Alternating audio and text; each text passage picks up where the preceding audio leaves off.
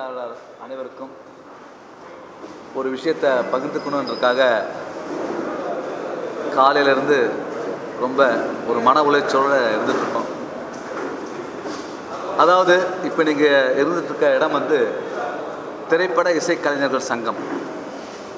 இந்த சங்கம் கிட்டத்தட்ட அறுபது ஆண்டுகளா காலமாக இது வந்து பயணிச்சிட்ருக்கு. இதில் வந்து நிறைய கம்போசர்ஸ் நிறைய சிங்கர்ஸ் நிறைய மியூசிஷியன்ஸ் இதில் இருக்காங்க. இன்னமும் மெம்பராகவும் இன்னமும் அவங்களுடைய சேவைகள் செஞ்சு கொண்டுட்ருக்காங்க. அதில் வந்து குறிப்பாக மெல்லிசை மன்னர் M S Viswanathan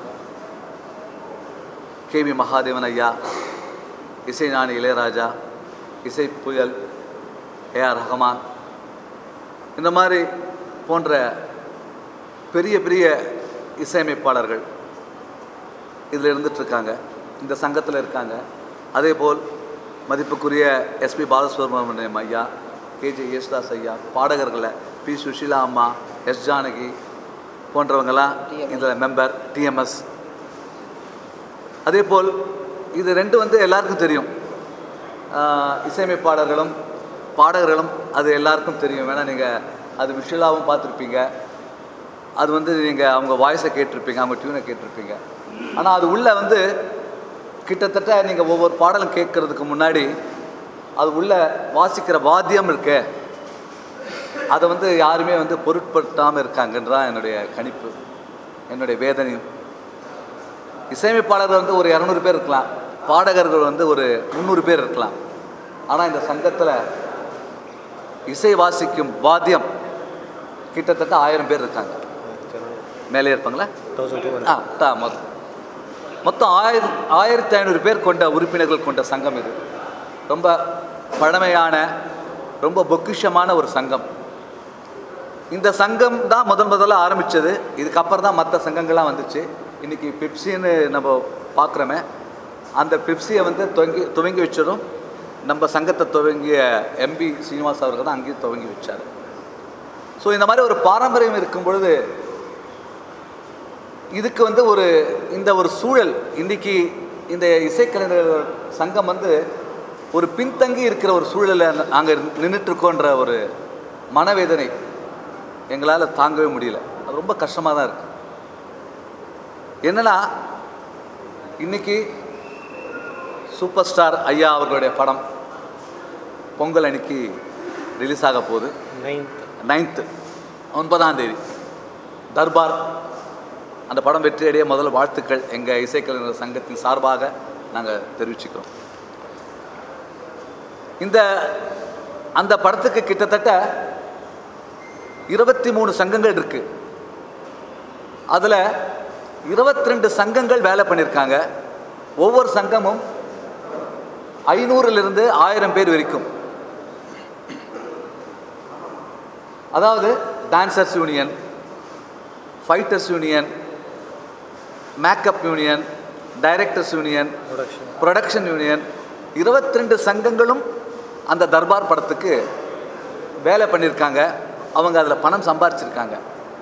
இதில் ஒரு அவல இதில் ஒரு அவலமான ஒரு நிகழ்ச்சி என்னென்னா எங்கள் சங்கத்தில் அஞ்சு பேர் தான் இந்த படத்துக்கு வேலை பண்ணியிருக்காங்க. அது எங்களுக்கு ஒரு பில் இந்த சங்கத்துக்கு எப்படின்னா யார் யார் வாசித்தாங்களோ யார் யார் பாடினாங்களோ அதை ஒரு பதிவு அதுக்கு ஒரு நூறுரூவா பேட்டா போட்டு கொடுப்பாங்க.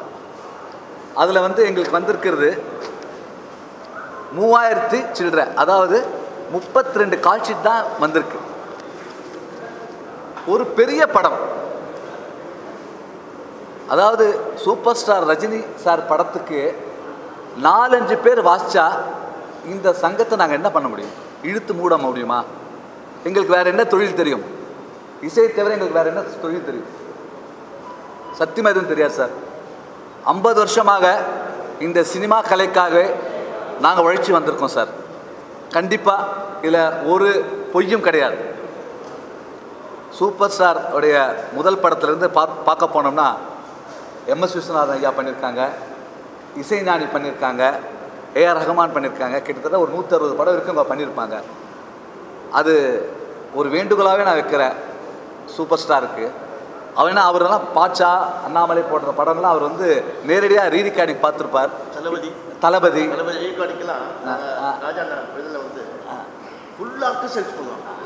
பக்கத்தில் நிற்பார் வந்து. ரஜினி சார் பக்கத்தில் நின்று சார் சார் சூப்பராக இருக்கு? ஃபுல் ஆர்கஸ்ட்ரா வாட்ச் பண்ணாங்க. அதை நின்று கேட்பார் அது அதனால எ- எல்லா தொழிலாளர்களுக்கும் வேலை கிடைச்சு. அதாவது இப்படி இப்படி இருந்த ஒரு சினிமா இன்னைக்கு தர்பார் படம் நாலே நாலு பேர் வாச்சிருக்காங்க எங்க சங்கத்துல இருந்து இது நியாயமா? அஞ்சு அஞ்சு நாலு நாலஞ்சு பேர். அது லிஸ்ட் கரெக்டாக கொடுத்துட்றேன் நாலஞ்சு பேர். ஐயா சூப்பர் ஸ்டார் ஐயாவுக்கு ஒரு வேண்டுகோள். நீங்கள் வந்து எல்லா சங்கத்தையும் மறக்காமல் யூஸ் பண்ணுவீங்க ஏன் எங்கள் சங்கத்தை மறந்தீங்க?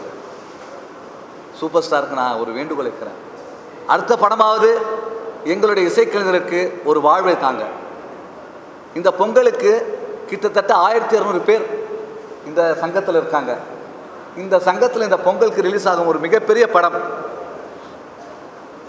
சூப்பர் ஸ்டாருடைய படம். அதில் அஞ்சு பேர் வாச்சாங்கன்னா நாங்கள் மற்றவங்களும் எங்கே போகிறது இதை தானே நாம் நம்பிட்டு இருக்கோம் போன படத்துக்கு நம்ம ரிக்வஸ்ட் பண்ணோம். போன படத்துக்கு ரஜினி சார் பண்ண போன படத்துக்கு நாங்கள் ரிக்வெஸ்ட் பண்ணோம். நீங்கள் ஆர்கெஸ்ட்ரா போடுங்க. கொஞ்சம் யூஸ் பண்ணுங்கள் நாங்கள் பண்ணோம். இந்த படத்துக்கு கூட ரெண்டு மாதத்துக்கு முன்னாடி திரு அனிருத் கிட்ட நாங்கள் வந்து ஃபோனில் நான் பேசினேன். போன படம் நீங்கள் யூஸ் பண்ணலான்னு இந்த படம் நீங்கள் கண்டிப்பாக யூஸ் பண்ணணும். உங்களால் முடியும். நீங்கள் வந்து உங்களுடைய பாரம்பரியம் தெரியும்.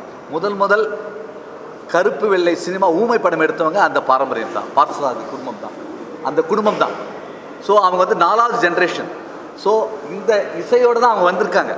ஸோ நீங்கள் வந்து யூஸ் பண்ணாமல் இருந்தால் எனக்கு ரொம்ப மனவேதனையாக இருக்குது நான் அப்போ தலைவராக வந்தேன். அப்போ தலைவராக வந்து நான் ஜெயிச்சு வந்திருக்கேன் யூனியனில் அப்போ நான் ரிக்வஸ்ட் பண்ணேன். இல்லை எனக்கு போன படத்தில் ரொம்ப டைட்டான ஒரு ஷெடியூல் இருந்தது சார் நான் அடுத்த படத்தில் யூஸ் பண்ணுறேன்னாரு வாக்குறுதி கொடுத்தார். ரெண்டு மாதத்துக்கு முன்னாடி கூட உண்மையாகவே நான் தொலைபேசியில் பேசும்பொழுது நான் கண்டிப்பாக வாய்ப்பு தரேன். கண்டிப்பாக நான் யூஸ் பண்ணிக்கிறேன் வாய்ப்பு தரேன் இல்லை பயன்படுத்திக்கிறேன்னு சொன்னார் சார் அதுக்கப்புறம் ஒரு வாய்ஸ் மெசேஜ் நாங்கள் கொடுத்தோம் அனிருத் கிட்ட. இந்த மாதிரி இந்த விஷயங்கள் இருக்குது மறந்துடாதீங்க. நீங்கள் இருக்கிற பிஸியில் மறந்துடாதீங்க. பயன்படுத்துங்க சொன்னோம். அதுக்கு இட்ஸ் மை டியூட்டின்னாரு சார் அதுக்கப்புறம் எங்கள் கவுன்சில் எங்கள் கவுன்சில் இருக்கிறனால நாங்கள் கூட்டிட்டு எல்லா இசையமைப்பாளருக்கும் இது ஒரு சாக்கா வச்சுட்டு எல்லா இசையமைக்கா நம்ம அனுப்பிச்சிடலாம்னு சொல்லிட்டு ஒரு நாங்கள் கமிட்டி ஒன்று போட்டு ஒரு ரெசல்யூஷன் பாஸ் பண்ணி அதில் எல்லா இசையமைப்பாளர்களுக்கும் இந்த மாதிரி பெரிய படங்கள் சின்ன படம் எதுவாக இருந்தாலும் நம்மளுடைய இசைக்கலைஞர் யூஸ் பண்ணணும். வெளிநாட்டில் இருக்கிறவங்கள நீங்கள் யூஸ் பண்ணுனா எங்ககிட்ட அனுமதி கேட்கணும். இல்லை எதுக்காக யூஸ் பண்ணுறீங்க என்ற ஒரு விஷயத்தை சொல்லணும். இல்லைனா அங்கே யூஸ் பண்ணுறதுக்கு நிகராக இங்கே எங்களையும் யூஸ் பண்ணணும். நாங்கள் தடை பண்ணலை. நாங்கள் தடை பண்ணவே இல்லை. அங்கே யூஸ் பண்ணுறதுக்கு நிகராக எங்களை யூஸ் பண்ணணும். நாங்கள் ஒரு வேண்டுகோள் வச்சோம்.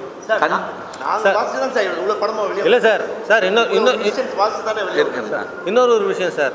அதாவது இங்கே கிடைக்காத சில இன்ஸ்ட்ருமெண்ட்டுங்க வாசிக்க முடியாத பிளேயர்ஸ் இல்லாத இன்ஸ்ட்ருமெண்ட்டுங்களை தாராளமாக வெளிநாட்டில் வந்து அவர் வந்து ரெக்கார்ட் பண்ணுறதுல அப்ஜெக்ஷனே கிடையாது. ஆனால் இங்கே இவ்வளோ வயலினிஸ்ட்டுங்க வந்து செல்லோயிஸ்ட்டுங்க எல்லாரும் இருக்கும்பொழுது அங்கே ஃபாரினில் போயிட்டு அவங்கள வச்சு எடுக்கிறதுன்றது தான் எங்களுக்கு மனசு வேதனை. வேறு ஒன்றும் இல்லை. ஏன்னா ஒரு இங்கிலீஷ் படத்தில் போய் நாங்கள் கேட்க முடியாது சார். அங்கே ஜான் வில்லியம்ஸ் கிட்டேயோ நான் அங்கே ஒரு இங்கிலீஷ் கம்போசர் போய் நாங்கள் வேலை கேட்க முடியுமா? நாங்கள் ஏங்க அதிகாரத்தோட எங்கள் ப்ரெஸ்ஸை எதுக்கு நான் கூப்பிட்டு கேட்குறேன் எங்கள் தமிழ் படம் எங்கள் தமிழ்நாட்டில் இருக்க எடுக்கப்பட்ட ஒரு படத்துக்கு நாங்கள் வாசிக்கலாமல் வெளிநாட்டில் வாசிக்கிறாங்களே அது என்ன எந்த விதத்தில் நியாயம்ன்றது அது பண்ணாதீங்க. அது பண்ணால் கூட பாதி பாதியாவது பண்ணுங்க. நம்ம அந்த மாதிரி வந்துடலாம். ஏன்னா எங்களுடைய நம்மளுடைய உறுப்பினர்களும் நீங்கள் யூஸ் பண்ணணும். நாங்கள் ரொம்ப பண்ணுறேன் பண்ணுறேன்னு சொல்லிட்டு கடைசியாக ஒரு நாலு நாள் முன்னாடி இந்த பில் வந்து கட்ட வந்திருக்காங்க சார் அப்போ தான் எங்களுக்கு தெரிய வந்தது பெரிய ஷாக் நாங்கள் ரீரிகார்டிங் முடிச்சிட்டோம். நாங்கள் காப்பி எடுத்துட்டோம். மொத்த பணம் மூணாயிரம் மொத்த படத்துக்கு மூவாயிரம் ரூபாய் கட்டியிருக்காங்க. அதாவது மூவாயிரம்னா முப்பது பேர் நூறு இன்ட்டு நூறு இன்ட்டு முப்பது பேர்னா முப்பது அதில் மியூசிக் டைரக்டர் அவரே வந்து பத்து நாள் ஒர்க் பண்ணியிருக்கார். அனிருத்தே போட்டிருக்கார். அவருக்கே ஆயிரம் ரூபாய் போயிருக்கு. அவர் அசிஸ்டண்ட்டுக்கு எட்நூறுபா போயிருக்கு. மீதி ஆயிரத்தி இரநூறுபா வந்து நம்ம மியூசிஷியன் கட்டியிருக்காங்க. அப்போ எத்தனை பேர் வேலை பண்ணியிருப்பாங்க யோசிச்சு பாருங்க. டபுள் கால் ஷீட்னா நாலஞ்சு பேர் தான் வேலை பண்ணியிருப்பாங்க டபுள் கால் ஷீட்னா இது எந்த விதத்தில் நியாயம்? அதாவது ஒரு காலத்தில் சூப்பர் ஸ்டார் மாவீரன் ஒரு படம் வந்து பிரசாத்தில் இல்லையா? Stereophonics. இசைஞானி பண்ணிட்டு இருக்காரு. ஆர்ஆர் பண்ணிட்டு இருக்காரு. நூறு பேர் சார் ஆர்கெஸ்ட்ரா அப்போ அவ்வளோ குடும்பம் அந்த அது வந்து தீபாவளியோ பொங்கலோ ரிலீஸுக்கு அந்த ஒரு ஐம்பது அறுபது குடும்பம் வந்து அந்த நூற்றம்பது இசைக்கலைஞர்கள் சந்தோஷமாக அந்த அவங்களுடைய பணிகளை செய்து அவங்க பணத்தை பெற்று அந்த குடும்பத்தை வாழ்வாதாரத்தை நடத்திட்டு வந்தாங்க சார். இன்னைக்கு நாலே நாலு பேர் தான் அவங்க ஆயிரத்தி இரநூறு பேர் இருக்காங்க. எங்கே போகிறது நாங்கள்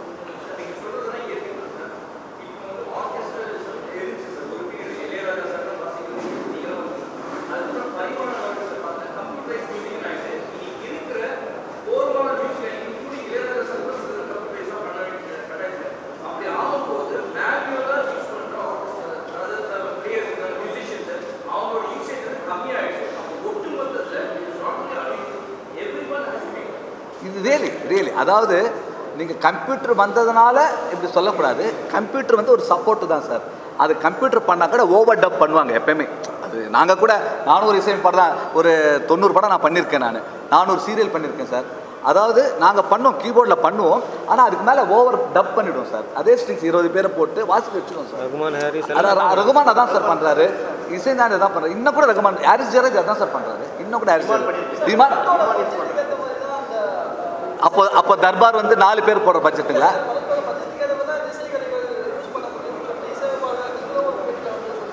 ஆமா ஆமா. இல்லை கம்ப்யூட்டர் சிஸ்டம் மாற்ற வேண்டியது அவசியமே இல்லை சார் கம்ப்யூட்டர் வந்து அது பேசிக் தான் சார் கம்ப்யூட்டர் வச்சு எல்லா பாடலும் பண்ணுறது இல்லை சார் கம்ப்யூட்டர் வச்சு என்ன பண்ணுவாங்க? ஒரு கிளப் சாங் பண்ணுவாங்க. ஒரு மெலடி சாங் கம்ப்யூட்டர் பண்ண முடியுமா? ஒரு கிளிக் ட்ராக் போட்டு லைவ் தான் சார் எடுக்கிறாங்க. பாடல்கள் எடுக்கிறாங்க. அது இன்னமும் அந்த பாரம்பரியம் இருக்குது சார் மற்றவங்களாம் யூஸ் பண்ணுறாங்க இல்லை இல்லை சார். அப்படி கிடையாது சார். திட்டம். ஆமாம் சார் எனக்கு என்ன ஒரு வேண்டுகோள்னா சார்? நாங்கள் இந்த படத்தை நிறுத்தினோம் இல்லை அனிருத்தை நாங்கள் வந்து ஏதாவது நாங்கள் ஒரு டிஸ்டர்ப் பண்ணுறோன்றது நீங்கள் நினைக்க வேணாம் சார். எங்களுக்கு அது அது முக்கியம் இல்லை சார். எங்களுடைய வாழ்வாதாரம் இப்படி நசுங்கி போயிருக்கே நீங்கள் மக்களுக்கு தெரியப்படுத்தணும் சார். எங்கள் மக்களுக்கு தெரிவித்தாலே போதும் சார். எங்களுக்கு அனிருத் மூலியமாக இனிமே வர அதாவது இப்போ நாங்கள் ஒரு ஜென்ரேஷன் எங்களுக்கு அப்புறம் ஒரு ஜென்ரேஷன் வந்திருக்காங்க. நான் இப்போ தலைவராக வந்திருக்கேன். நான் வந்து இருபது வருஷம் முன்னாடி நானும் நானும் வந்து இதில் ஒரு மெம்பராக இருந்தவன் தான். ஒரு வீண பிளேயர் தான். அதுலேருந்து வந்து நான் வந்து படிப்படியாக முன்னேறி நான் இப்போ தலைவராக வந்திருக்கேன். ஸோ நான் மு- முன்னாடி ஜென்ரேஷன் இப்போ வர ஜென்ரேஷனு அந்த பாரம்பரியத்தை விட்டுறாங்க. தன்னுடைய சகோதரர்கள் ஆயிரத்தி ஐநூறு பேர் இருக்காங்கன்றத மறந்துடுறாங்க சார் அது மறக்கக்கூடாது. அது மறக்காமல் நீங்கள் பண்ணணுன்றது தான் எங்களுடைய வேண்டுகோள் நாங்கள் விட்டுறோம் ஆமாம் சார் ஆமாம் ஆமாம் ஆமாம் ஆமாம் சார் ஆமாம் ஆமாம் சார் ஆமாம் ஆமாம் சார் ஆமாம் சார் கண்டிப்பாக சார் ஆமாம் ஆமாம் ஆமாம் ஆமாம் ஆமாம் சார் சார் ரஜினி சூப்பர் ஸ்டார்கிட்ட நாங்கள் வேண்டுகோள் ஏன் வைக்கிறோன்னா சார் அவர் எல்லா எல்லா இருபத்தி ரெண்டு சங்கத்தையும் யூஸ் பண்ணும்போது எங்கள் சங்கம் யூஸ் பண்ணலன்றதை நாங்கள் வேண்டுகோள் வைக்கிறோம். இல்லை அவருக்கு தெரியும். சார் சார் அவர் தெரியாது சொல்லக்கூடாது சார் அவர் கண்டிப்பாக தெரியும் சார் ஏன்னா ஏன்னா அவங்க ரிலேஷன் தான் அனிருத்தம். எல்லாம் தெரியும் சார்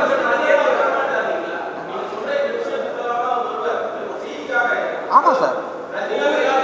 எல்லா பாட்டையும் கேட்பார் அவர். ஆமாம் இருக்கலாம் இல்லை சார் இருக்கும் சார் இருக்கும். சார் ரஜினிகாந்த் சைடு சார் அவர் அவருடைய அவருடைய ஊந்துதல் இல்லாமல் நடக்கவே நடக்காது சார்.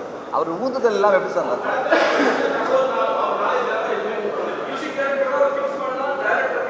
கண்டிப்பாக சார். இல்லை அது இல்லை அது அது அவர்கிட்ட இருக்காது. அது அவர்கிட்ட இருக்காது சார். அது அது அவர்கிட்ட இருக்கா சார். ஆனால் அவருக்கு தெரியும் சார் அவருக்கு. ஏன்னா அவர் எங்களோடலாம் பழகிருக்காரு எங்களோட பழகிருக்கார் அவருக்கு தெரியும் அது. சார் அதே போல் அ- அனிருத்தை வந்து நாங்கள் வந்து எந்த விஷயத்துலையும் நாங்கள் விட்டு கொடுக்க மாட்டோம் சார். ஏன்னா நாங்கள் எங்கள் உறுப்பினர் சார் அவர். எங்கள் உறுப்பினர். சரி சார். ஆ ம். சார் அதாவது சட்ட விதிகள் இப்படி இல்லை அப்படின்னு பேசும்பொழுது ஒரு சில க கசப்புணர்ச்சிகள் வரலாம் சார். ஸோ பே பேசும்பொழுது just we are requesting them அவ்வளோதான் ரூல்ஸ் அண்ட் ரெகுலேஷன் போனோம்னா தப்பு தப்பு தான் ஆனாலும் வி ஆர் ரிக்வஸ்டிங் தெம் அது இல்லாமல் வந்து நம்ம சூப்பர் ஸ்டார் இந்த இடத்துல எடுக்கிறதுக்கு ரீசன் என்னென்னா அவ்வளோ பெரிய சூப்பர் ஸ்டாரு தயவுசெய்து நீங்களே அதை கொஞ்சம் பார்த்து எங்களுக்கு ஹெல்ப் பண்ணுங்கள் that's all we are request them அவ்வளோதான் என்னம்மா?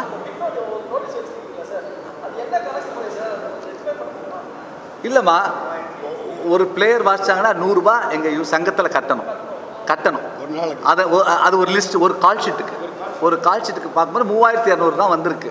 அதில் வந்து பத்து கால் ஷீட்டுக்கு அனிருத்தே அவங்க பேர்லேயே இருக்குது அப்புறம் அசிஸ்டன்ட் பேர்லேயே ஒரு எட்டு கால் ஷீட் இருக்குது அது ஆயிரத்தி எட்நூறுபா அவங்களே கட்டிட்டாங்க. மீதி வந்து ஒரு நாலு அஞ்சு பேர் தான் டபுள் கால் ஷீட்டில் வாசிச்சிருக்காங்க. அதுதான் அது அது அது நான் ஃபைனலில் வந்துடுறேன் சார். அது உங்களுக்கு அது எண்டில் சொல்லிடுறேன் சார். சார் இப்போ இந்த பேட்டி மூலமாக இனிமே வர இசையமைப்பாளர்கள் கண்டிப்பாக நம்மளுடைய இசைக்கலைஞர்களை வச்சு பண்ணணுன்றதை நாங்கள் உறுதிப்படுத்தணும் சார். ஆமாம்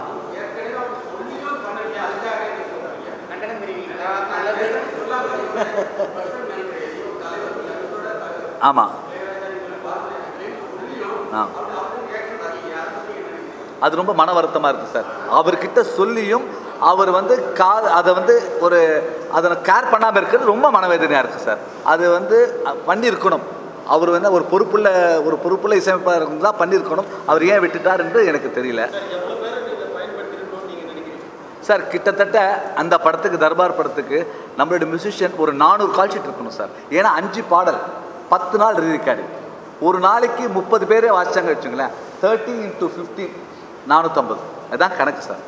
இது இல்லாமல் ஒர்க்கே நடக்கு எங்கள் மெம்பர் தான் சார். நாங்கள் லெட்டர் அனுப்பிச்சிருக்கோம் சார். நாங்கள் அவருக்கு நாங்கள் அவர் ரிப்ளை வரல. நாங்கள் லெட்டர் அனுப்பிச்சிருக்கோம். இது கவுன்சில் நாங்கள்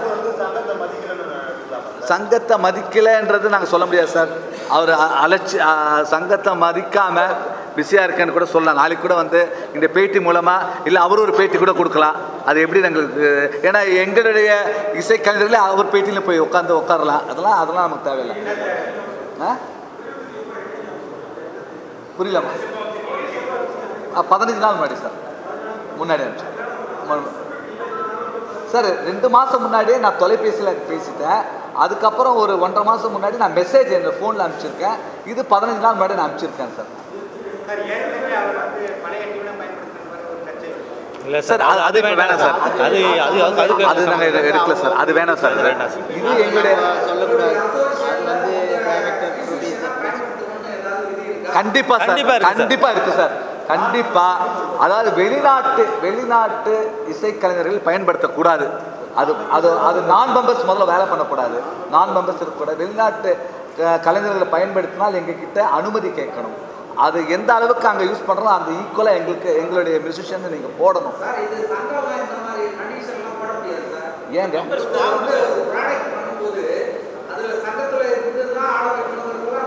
சார் சங்கத்தில் அதுதான் சார் சங்கம். சார் அதுதான் சார் சங்கம். நல்லது பண்ணுறதுக்கு மட்டும் தான் சார். சார். இல்லை சார் அதாவது எங்களுடைய அதாவது மியூசிஷியனுக்கு நாங்கள் ரூல் கொடுக்குறோம்ல சார். பைலான் இருக்குல்ல பைலான் இருக்குல்ல எங்களுக்கு. மியூசிக் டேரக்டர் மியூசிக் டேரக்டரான ப்ராடக்ட் அந்த bylaw-வை okay சொல்லி தான் கையெழுத்து போடுறாங்க. அவங்க இப்படி தானே வாசிக்கணும். இவ்வளோ இவ்வளோ கால்ஷீட் வாசிக்கணும் இது இருக்குல்ல சார் அவரும் எங்களுடைய மெம்பர் சார் மியூசிக் டைரக்டர் எங்களுடைய மெம்பர் சார் எங்களுடைய மெம்பர் தான் சார் அவரும் எங்களுடைய மெம்பர் எங்களுக்கு சங்கம் சார். நம்ம- சட்டத்திட்டத்துக்கு அவரும் கட்டுப்பட்டவர். ஆ. நாங்கள் இப்போ பண்ணியிருக்க மாட்டோம் சார் பிரச்சனையே இல்லை சார் இது வந்து நாங்கள் ரெண்டு வருஷமாக கேட்டும் அவர் எங்களை அவமதிச்சது தான் நாங்கள் பண்ணியிருக்கோம் எது? இதை பற்றிலாம் நாங்கள் சொல்கிறதுக்கு என்ன சார் இருக்குது எங்களுக்கு? இதை நான் சொல்ல சார். இதை நான் சொல்ல சார். ஆமாம் ஆமாம் சார் இப்போது இது நாங்கள் அடுத்த இன்னும் ஒரு ஃபிஃப்டீன் டேஸில் இந்த பொங்கல் முடிஞ்ச உடனே நாங்கள் ஒரு கவுன்சில் மீட்டிங் போட போகிறோம் சார். இது அனிருத்துக்கு மட்டும் இல்லை எல்லா இசையமைப்பாளர்களுக்கும் இந்த ரெசல்யூஷன் நாங்கள் பாஸ் பண்ணிவிட்டு அதுக்கு தக்க நடவடிக்கை எடுக்க போகிறோம் சார். சார் இதுக்கு முன்னாடி இவ்வளோ இவ்வளோ நடந்ததில்ல சார். இது வந்து ஒரு ஒரு ஒரு பாரம்பரியமாக இருந்துட்டு இருந்தோம் சார். இப்போ எங்களை ரொம்ப விட்டுட்டு நகர்ந்து போயிட்டாங்க சார். நாங்கள் ஆயிரத்தி இரநூறு பேர் அம்போன்னு இப்படி நிற்கிறோம் அவங்க அப்படியே தள்ளி போயிட்டாங்க சார். சார் ஒரே இல்லை.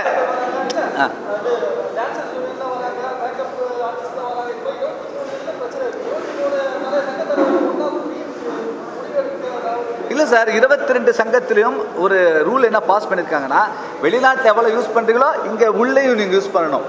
நம்ம தமிழ்நாட்டிலையும் யூஸ் பண்ணணுன்றது அப்படி ஒரு ஷேரிங் இருக்குது சார். சார்